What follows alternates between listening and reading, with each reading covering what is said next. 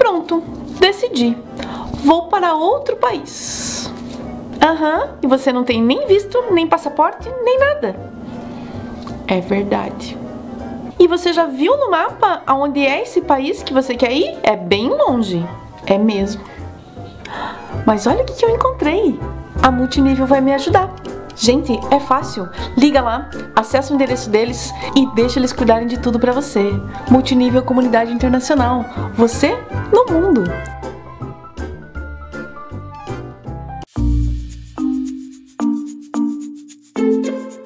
Quanto tempo que a gente se conhece? 20 anos, mais, né? Mais de 20 anos? E olha onde a gente foi parar, né? No Canadá. Vivo no Canadá. Ah, louco. 97? 97. 90, peraí. 93, 97. Estamos fazendo 20 anos esse ano. 20 anos. Ah, louco. Com um corpinho de 40. 40 com corpinho de 39. Oi gente, tudo bem? Sejam bem-vindos ao meu canal e hoje eu tô aqui com a minha amiga Cíntia. Lembra da Cíntia, minha BFF? Então, finalmente agora ela concordou, porque ela é uma pessoa muito ocupada, muito requisitada.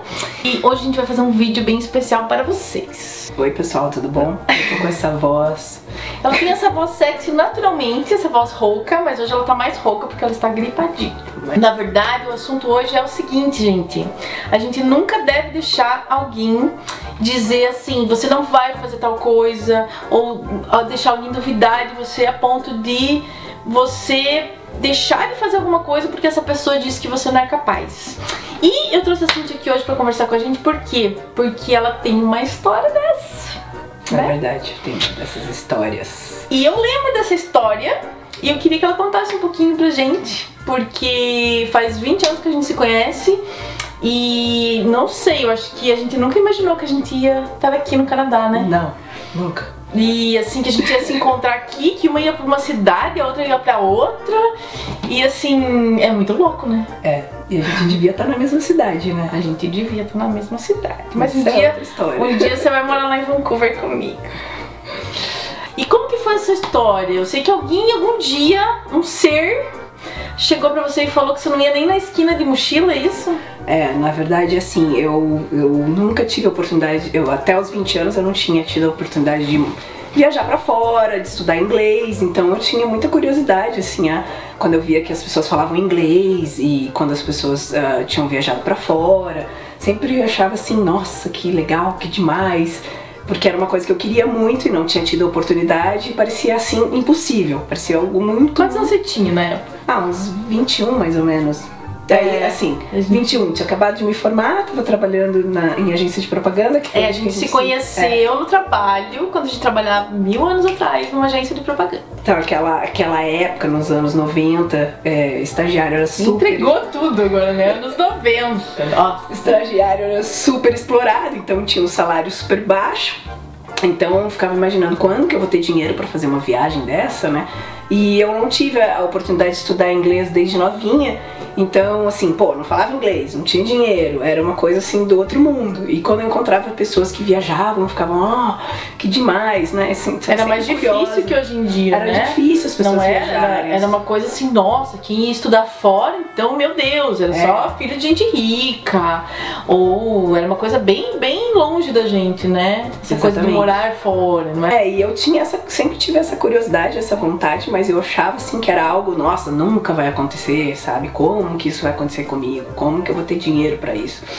E eu tava num- na praia com alguns amigos e conversando sobre várias coisas. Meu amigo abriu a carteira e caiu da carteira dele um, um cartãozinho. E assim, eu sou formada em design gráfico, eu olhei o cartãozinho, me chamou atenção e tal. Eu falei, ah, o que, que é isso? Que bonitinho e tal.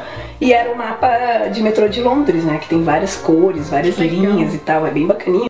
Aí eu olhei e falei, que é isso? Daí ele falou, ah, é o mapa de metrô de Londres e tal, minha carteirinha de metrô. E daí eu falei, ai meu Deus, você já morou em Londres, que legal e tal.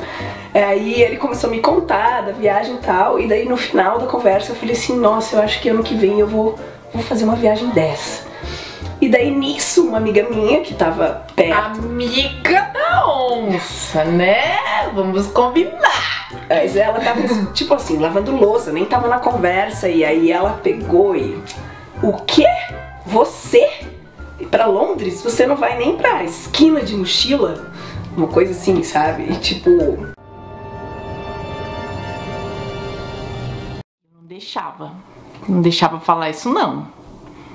Muito estranho, porque eu nem era. Nada a ver. Eu era uma pessoa normal, não era uma pessoa assim, medrosa. Agora ela não é uma pessoa normal. Não, mas- sou, nunca fui. Mas assim, enfim, eu não era uma pessoa medrosa ou que muito apegada, assim, tipo, não tinha motivos porque eu não iria viajar, a não ser não ter dinheiro. Ela falou que você não ia nem na esquina de mochila. É, tipo, uma coisa bizarra, Nada não fazia o menor sentido, assim, Nossa. foi tipo...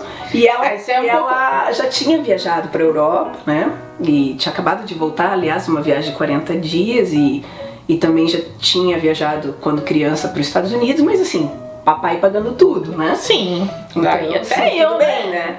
Mas foi engraçado que quando ela falou isso pra mim, foi a mesma coisa que ela tivesse me dado um ticket, assim, de viagem à volta ao mundo, mais dinheiro, mais tudo. Porque, tipo, É porque a Cintia é assim, ó. Duvidou dela, ela faz. É. Vai lá e faz. Cintia, duvido que você pule daquela ponte, não sei das quantas, e caia na piscina e blá. Ela vai lá e faz. é o meu maior motivador. Se fala assim, vai lá. Se essa pessoa soubesse, né, que ela não estaria fazendo uma maldadezinha, que ela estaria até fazendo um bem, né?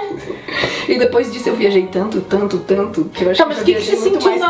Hora? O que, que você sentiu na hora? Ah, na hora eu fiquei chateada porque quando, quando alguém fala uma coisa dessa pra você, você fica pensando, mas por que, que a pessoa tá falando isso? Não- não- você não pensa que é uma maldade assim gratuita, você fica imaginando por quê? Será que eu dou a impressão que eu sou incapaz de cuidar de mim ou de fazer Olha, na maioria das vezes, ou inveja, Eu vejo isso como uma inveja. This is the rhythm of the night. ou a pessoa tá projetando coisas em você. Né?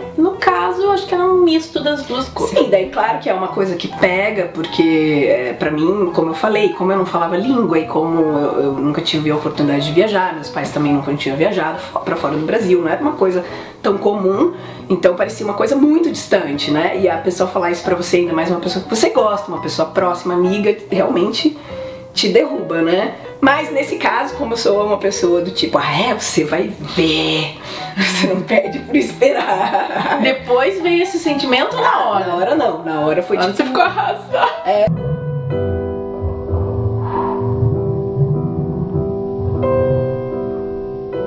meus amigos ficaram indignados, né? Que ela falou isso, que ficaram chateados dela ter falado isso, enfim.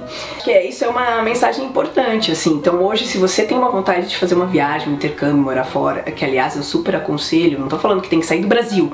Mas assim, por um tempo, ou pra estudar, ou pra Sim, aprender uma uma língua, ou experiência, né? viajar e tal. É assim, ah, se hoje te parece muito distante, ah, eu não tenho dinheiro, ah, eu não tenho como, meus pais nunca viajaram, ou não tem ninguém em volta de você com essa experiência, não deixe isso ser ah, um desmotivador pra você. Pelo É, porque contrário. muita gente vai falar isso. Vai É. falar isso em outras palavras, vai dizer, ai, é, ou vai duvidar. Sempre vai, vai ter pessoas que vão te apoiar, mas sempre vai ter aquele ou aquela que vão, né, tipo, querer te desmotivar. Ou falar, ah, você, você não vai conseguir. Ah, você não tem um perfil. Ou, ah, você vai passar necessidade. Sei lá, as pessoas têm mania de ter, tipo, querer colocar já o teu futuro ali, sendo que elas nem sabem. Né? Sim. Então não, não é legal você dar ouvido pra essas coisas. Ou se né? for o, dar ouvido, ser, usa que nem eu usei, usa de trampolim. É, ao Ah, é? contrário, falar que eu vou eu vou. Então, é porque essas pessoas elas têm uma função na sociedade, sabe? Pessoas como essa amiga, né, da, da Cindy anos atrás, elas têm uma função na sociedade, elas servem pra motivar, muitas vezes, né? Sim. Ou quem critica É, a gente. Essa não é a, a única experiência que eu tive com ela, dela falar esse tipo de coisa e, e realmente acabou me Você vê que ela tem problema, né? Essa Então, pessoa às tem vezes é problema. bom gente assim na nossa vida, né? É bom, elas têm uma função. Então foi muito bacana, porque aí eu, logo depois eu entrei num programa de estágio que chama é, da IAEST, que é uma instituição que troca estágios ah, de vários países no mundo. Então, é, depois a gente pode pôr o link embaixo para as pessoas. que- Eu acho Ah, excelente A uma gente vai deixar aqui os links que a Cindy tá falando pra quem quiser procurar. Isso é muito legal, porque assim, é, você se inscreve, eu não sei como que é hoje, imagina, eu tô falando um negócio de 20 anos atrás, mas eu sei que existe ainda. E daí você coloca, você preenche teus dados e tal, e daí eu tenho uma lista de estágios na tua área. E aí você se inscreve, dependendo da tua pontuação, você escolhe o estágio, né? E eu escolhi um estágio na, na Holanda, um estágio de três meses numa fábrica de relógios. Esse foi teu primeiro, tua primeira experiência internacion- internacional. internacional. Aí eu passei, fiquei super feliz e entrei em pânico porque eu não falava inglês. Eu falei, como é que eu vou chegar lá numa fábrica? Muito menos holandês, né? muito menos holandês, né? Então, mas aí eu comecei a, a- eu dei um jeito de ir pra Londres antes e eu tinha dinheiro pra três meses de curso de inglês. Então eu estudei os três meses de inglês e daí cheguei lá no estágio, assim, com inglês capenga, mas me comunicava. Era assim. uma fábrica de relógios, uma, Uma coisa fábrica de assim. relógio. É, daqueles legal. grandfather clocks, que parecem um caixão, né? Aham. Aí eu tinha que ficar desenhando relógio, enfim, foi bem, Uma bem experiência bacana. legal. Mas depois disso você foi pra outro lugar também, né? Não, depois disso eu voltei pro Brasil, daí trabalhei mais um pouco e tal, mas ainda fiquei com vontade de viajar mais, né? Daí começou no para mais. É, eu falei, ah é, deixa eu pegar. Olha que essa aqui tem um formiguinha na bunda, essa aqui não para em nenhum lugar. Você já morou em quantas cidades do Brasil? Acho que 10. Quando você era pequena? Sim, umas 10. Nossa. Mas daí morei, eu moro em Toronto, morei em Montreal, morei em Honoven, que é na Holanda, na Sérvia morei em Zemun e em Bel, Bel- Belgrado e morei em, em- na Inglaterra, né, em Londres. E você Seis não ia nem na esquina de mochila, É, hein? então- Ah, Não duvida de mim, não duvida de mim. Daí fui pra Transilvânia, pra Turquia, nossa, que bacana. pra Grécia. Conheci um monte de pra- lugar legal. É, pra Romênia. culturas diferentes. Foi bem bacana. E daí, de- depois de muitos anos no Brasil, você ficou com uma- essa vontade de morar fora do país, mas legalmente, né? Por isso que Sim. você veio pro Canadá. Porque sempre, como eu não tenho passaporte é, europeu, é, pra mim era meio frustrante, porque, tá, primeira vez eu fiquei três, três é, meses estudando inglês, daí fiz o estágio mais três meses, depois voltei, fiquei mais um tempinho e tal. É, não podia trabalhar e tal, e mesmo assim eu trabalhei com algumas coisas informais, enfim, podia até trabalhar 20 horas, né? Mas assim, você tinha o tempo do teu visto e a segunda vez também tinha o tempo do visto, que era normalmente seis meses, você tem que entrar, tem que Então sair. você ficou com esse gostinho de voltar, né? É, daí- lugar e ficar, tipo, um tempão. E não podia trabalhar, assim, você podia trabalhar às 20 horas, que não é nada. E quando eu ouvi falar do, do programa de Canadá, foi assim, nossa, será que eu posso ir para algum país e que me quer, né? Que vai me Você aceitar? você veio por Montreal, pro, né? pro- é, por Quebec. Por Quebec. Então é o processo que tem que falar inglês, inglês e francês. Na época era só o francês, que era, é, eu não falo, mas meu marido fala e eu, não, eu só precisava entender um pouco na época. Acho que hoje em dia os dois têm que falar, acho que mudou bastante as regras do, Não sei. do processo de imigração, né? Antes era um, pouco mais Mas, tranquilo. mas isso muda toda hora. É, até porque eu fiz esse, eu fiz em 2010 esse processo, né? Então já faz um tempinho que eu fiz esse processo. E daí tá aqui, tô no aqui. Canadá. Tô feliz porque aqui eu trabalho na minha área, né? E se eu quiser eu posso trabalhar de, qualquer coisa. A Cintia trabalha na área de marketing e tá trabalhando com isso agora, né? Numa super, numa, numa grande indústria. E chegou até aqui, né, gente? Então, assim, o que a gente queria dizer com isso é. Não deixe os outros duvidarem de você. Até deixe, mas não pega pra você. E se pegar, faz o que a Cintia fez. Pega de uma maneira que leve você a algum lugar. É, como uma mola, como uma mola propulsora. Isso. Propulsora. Isso. Ah, acho que nunca falei essa palavra. Pega isso de uma forma, tenta transformar. É muito chato quando alguém joga um balde de água fria em você, né? Isso é em qualquer chato, coisa. Em qualquer né? coisa. Não é só de viajar. Mas pega isso e transforma, porque aquela pessoa ela tá falando dela. Ela tá falando de alguma coisa mal resolvida lá que não tem nada a ver com você. E a gente não precisa pensar igual aos outros. E se você quer ir morar fora, se você tem vontade de estudar fora, em outro país, ou viajar, fazer o que você quiser, vai. Só vai. Pega uma coragem, pega um dinheirinho e vai. Só que cuidado, né? Porque depois você vai ficar com vontade de ficar sempre viajando. É. É, abriu a caixa de Pandora, né? Tipo. Tem gente que vem, passa um tempo, volta, fica de boa. Tem aquela que É. vai ficar sempre. E fica Aqui você tempo. tá no total três anos Três e. anos, três meses. Três anos e três meses no Canadá. É, não, é, não é fácil. E daqui do Canadá a gente vai pra onde agora? Ai, eu tô sonhando com, com- com morar em Vancouver ou te arrastar pra cá. Ai, que sonho. Ai, pra cá acho que eu não venho morar, mas bem que você podia morar em Vancouver, ó. Então tem que arrastar meu marido pra Vancouver, Arrastamos. né?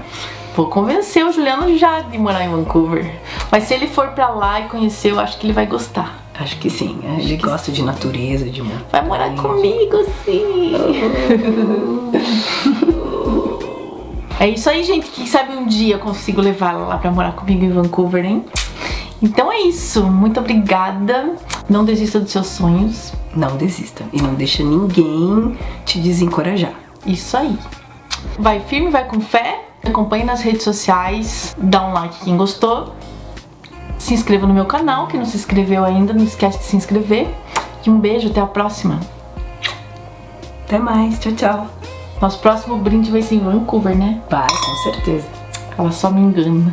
Duvido. Comprando a passagem 3, 2, 1.